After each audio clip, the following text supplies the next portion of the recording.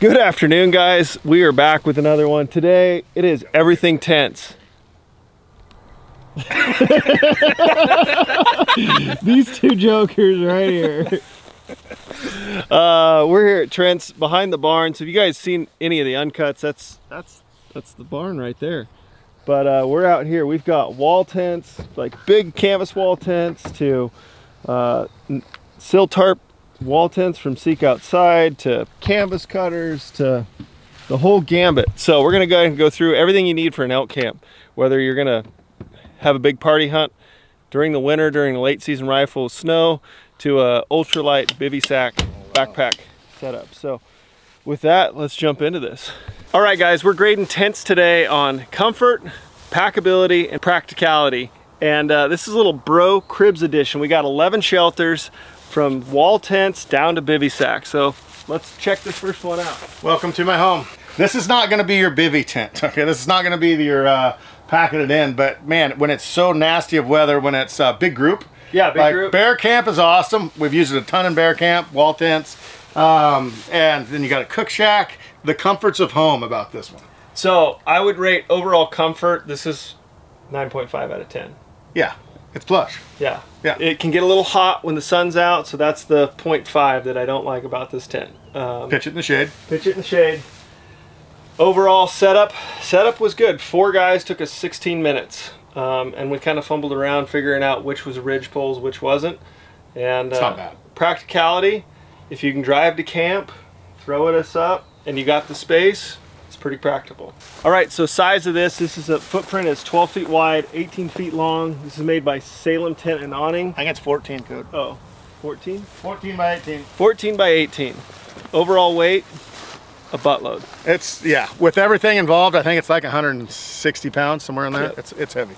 Next up, guys. This little cutie here, don't look at the floor. So obviously this is not one of our tents. So a lot of these tents, we don't have the rain flies on just to keep them kind of cool when we're checking them out. A lot of these all have rain flies for them, but here is a dome tent you can actually stand up in. Took us six minutes. Six minutes to set up. Wasn't that bad. As far as like snow load, if you have super bad weather, eh. this one's gonna be a little sketch. So yeah. Comfort, um, I'm gonna say this is gonna be about a seven. You're gonna need a heater if you're in some cold weather. If you're in the rain, definitely probably a tarp and string kind of getting all the water off of it. But this will sleep four guys i would say comfortably four guys yeah. And you can have your gear and stuff in here and that'll be another big thing that we talk about as we go down the line is like some places you can sleep but putting your gear is a whole different story especially when the weather rain and you're packed in or something of that nature. But this pretty plush still keep it in the back of the truck you're not going to pack this in anywhere probably. It's probably not. Practicality it's a lot easier on the budget than what a canvas wall tent is. Still lots of room to stand up and uh, pretty easy use. I mean honestly we deployed it quick. If you need to move camp roll this thing back up go down the road. Six minutes later you're back up operating. Okay so we have the Seek Outside Courthouse. Hello governor and this is all in sleeve. We've been talking and looking at the tents. This gets People's Choice, I think, award for yep. tent of the setup. So yeah, this practicality, um, whether you're base camping from the truck, whether you're backpacking with three guys in cold weather, this is kind of the do-it-all. The only drawback is footprint and some of the backcountry might be a challenge in steep ground. But come on in. Oh, what you've got, you got a stove port here. So the stove goes in the middle of the tent, so it's not by the edges. So it's gonna, you know, be furthest away from the edges to catch and fire. Not by the door. The one thing that uh, you got to be careful hot tents, and I've seen it happen before where you're wearing a puffy jacket, you're crawling into the tent, boom, your sleeve hits the stovepipe, melts it. You got plucked ducks everywhere in here. So I'm looking at this as a two and a half man. It's, so we slept three. Three men. Three really. I'm trying to think. Fire here, a guy on each side. A guy on the basically how we guy across. Guy on guy on the end, guy down the side, and then we had gear up here. So, yeah, three man. And then, so another thing too with these tents like this is these poles are all obviously separate. So if you want to pack into a place, one guy, okay, you carry the stove and the poles, I'll carry the tent, vice versa, however it works, split up the weight. Uh, we've done that before too, and it works pretty darn good. And setup wise, this took us about 15 minutes. It took a little while to figure out which way we were facing. But I know once you get rolling with it, when I've used it before, setups under 10 minutes, pretty easy. Moving on. All right. Chief. All right, next up is the traditional teepee. Um, this one is a Kifaru. I've had this for, I don't know, probably 10 years. It's a four-man teepee that sleeps two, is how it I, works. two in gear Yep. with a stove if you want that, I would say. Trent and I have had some days in this tent. Had a few nights in this tent. So overall, this tent um, setup is a little bit more challenging. You got to kind of piece it together. I'm sure if you do it a lot, you can get better at it, but figuring out the footprint size. Single pole. Um, the good thing about this in high winds, teepees do really well with just a single pole, everything drawn down. The wind, it shucks the wind pretty good. This does have a stove jack as well. It gets a little tight. Trent can attest that a sleeping bag on the stove in this particular tent can get uh, little, little western. $275. Um, cool thing, dry rack here. So with the stove, um, we've dried out boots, um, all of our gear up there. And uh, comfort-wise, you can cook in this thing like we are right now. I'm sweating. So um, overall, practicality is a pretty strong, I'm gonna give this about a seven or eight, two guys to backpack in. Um, if you're gonna stay, you got nasty weather, this is a good choice comfort pretty solid you are on the ground so you got to bring a ground cloth something like that um, you if you and you got to set up on a rise you don't want to set up in a gully because all that water will run in into the, inside the tent so but overall pretty solid choice All right. So this is called the little bug out by Seek Outside, right? Yeah. So this is kind of interesting because it's got this opening. It's got a zipper over on the side for either ventilation or you could get into it from a different place. So kind of cool. It's a little bit more versatile. Come on in. It's not a stand-up tent, let's just say. I'm gonna give this tent a rating of a somewhere. It's good packability. The carbon fiber poles, they're not super heavy, so two guys could pack this tent pretty easily with a stove. Um, yeah, I'm gonna give it a strong 7.3. How about that? A 7.3. Okay, next, this is kind of what I take actually on most of our backcountries. This is the size of tent that I would take. I also have a copper spur, it's called, but um, this is a Nemo Dragonfly is what this is called. Cool thing about it is once you get it all set up, I can take this thing, I can turn it, like if it's real rocky situation or something, I can actually figure out exactly the best spot. If there's only one good spot where I'm gonna be laying in there, I try to just kind of get that etched out before I actually do anything. You don't have to stake this part down. The, the rain fly that goes on top, actually you stake that down. I've been in some pretty decent rainstorms and it's actually been awesome. So, I mean, I'm gonna, we've waited all day in Colorado just and sleeping in this, just staying in it all day because it was pouring down rain. So I'm gonna give this a, uh, I'm gonna give it an 8.4. Strong 8.4 too. all right so this is my choice of shelter that i've been running the last few years for backpack hunts um, they ran it as a two man it is one man for me. Um, this is the nemo recurve. Cool thing about this tent it's got a tub floor in it and a built-in uh, vestibule so there's this is the only part to it. There's there's not a separate layer or anything like that. Um, single single wall and it's trekking pole. So it's a super lightweight package good footprint i can sit up sit up like this, wake up in the morning, cook my food right here, and um, overall I've had it in some pretty nasty weather. All has been good in the wind and the rain. Um, I'm gonna give this for a backpack tent. Um, I've ran the, the tarp and similar type setup where it's about the same weight, not as comfortable. So I'm gonna give this an 8.8 precursor to all the tents that I've ever owned for backpacking. This is the Marmot EOS 1. I don't think they still make this tent, but I know that they make some similar tents. The cool thing about this tent was the budget. I think I paid $150 for this tent. It's a pound and a half on trail weight. Um, this one too is a freestanding, so the only stakes you're gonna have to do is your vestibule. So if you're in real rocky terrain, uh, easy to set up. The only drawback, you get in here, not much wiggle room.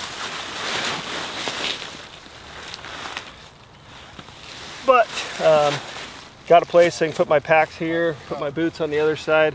When the vestible's on, I can reach over, access all my gear on the outside here, put this back up, ready to rock. Um, just for the, I would say, durability, weight, and all that, this is gonna about an 8.2 on the scale. It's uh, it's very practical. It does well in weather, and uh, it's a good economical choice for backpacking. This brings us to the old tried and true right here. I've had this thing for, man, how long? Six years. Six years probably. And anyway, I still use the old same Dominator. It's a canvas cutter. It's a company that just makes like personal shelters out of canvas and they also do them. We'll get to this later. That's also canvas cutter too. But honestly, if there's a pad on the bottom, I actually have a blow up pad here that I put in into it after I get it to where I want it, you know, obviously because this whole thing rolls up into a, a bundle. It's got straps and it's just a big ball. But at the same time, I've slept in this probably more than anything on this whole lot and for longer periods of time. And it's great for if you're gonna be kind of in a truck camp, but yet still mobile. So we'll just bust them out at night, you know, and we'll drive as far as we can. Say we're headed to a different state to hunt. We'll jump out of the truck, try to get four hours of sleep, just throw the canvas cutter on the ground, open it up, jump in, sleep for a few hours, roll it back up, throw it in the truck and go. Super durable stuff. And I've been actually in some pretty heavy rainstorms and stuff with that. And I just take, roll it over the top of me. It's got huge zippers. You zip up and I just keep a little vent for my for my air on the side and it's uh it's the it's the easiest way in my opinion to do a quick camping. So the, the little sister to mine is this one. And I've never used it yet, so I can't really speak. I have a, see how wide that one is? It's pretty, pretty good size. This is pretty narrow. It's gonna be, and I'm a small guy, kind of petite, so this is not gonna probably fit me very well. So got the, uh, the poles in here as well. So the poles, what they're gonna do is keep that whole air above you it's a cool, I, I, like the concept. I think if it if they made one in a size a little bit larger, I would probably go with it. But for one, it's super, it's not as easy to get in with the poles, but it still suits a, a great purpose. Uh, Wyatt actually, he has, my son, I gave him the one that, uh, that I got from Canvas Cutter and he loves it. So but anyway, great for bivvying. But it, the cool thing about this is you can put your sleeping bag and bedroll and everything in it and actually take it with you, bivvy, you know, um, um, backpack. That's the cool thing between these two. Okay, last in the lineup for all those minimalist guys, it's gonna be a bivy sack and tarp setup. Um, I ran a different tarp setup in a bivy sack before. This one I haven't ran with uh, just normal A-frame style to it, but it's enough room for two people. Come on in here. So this is a Jimmy Tarp bivy sack, just a waterproof sack. Got a quilt, my pad in there, but you could definitely on nice weather get away with two guys sleeping in here. Room for your gear and uh, all that. Um, pretty easy setup. We've got four stakes and then uh, two end cap poles, trekking poles. Uh, pretty versatile setup you're in uh, one of those surprise rain showers, thunder showers, or even snow, it's gonna be a little bit colder, so you don't have end cap closure. But overall, it's a pretty good shelter for those ultralight minimalist guys. Um, practicality, pretty high, pretty easy setup. I would rank this like an 8.2. I'm gonna opt for a tent if I can, just for the close proximity and weight and uh, being not having to be on the ground. So overall, it's a pretty cool setup.